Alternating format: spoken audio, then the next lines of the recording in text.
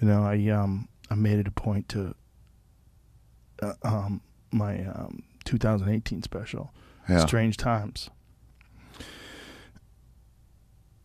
You know, it's like um I felt like at that point, like after Triggered, it was like the first time I felt like um like I'm a legit world class comic. Like I'm, I'm real now. Yeah.